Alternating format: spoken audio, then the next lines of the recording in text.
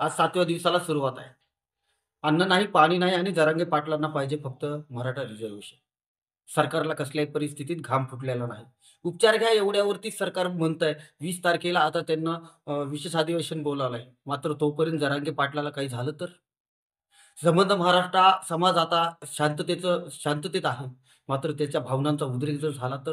हे सरकारला निश्चित मानानेच भागात पडेल. ठिकठिकाणी देवदेवस्थानं असतील मंदिरं असतील त्या ठिकाणी अभिषेक केला जातो देवाला प्रार्थना केली जाते की जरंग पाटलांची प्रकृती आता स्थिर व्हावी.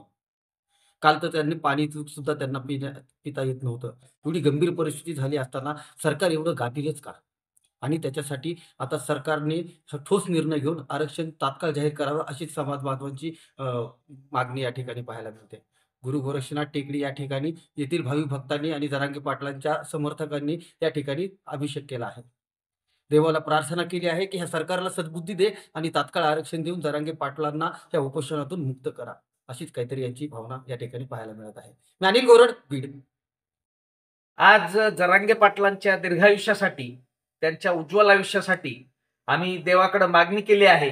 कारण समाजासाठी झटणारा हा आमचा लाखांचा पोशिंदा ठणठणीत राहिला पाहिजे.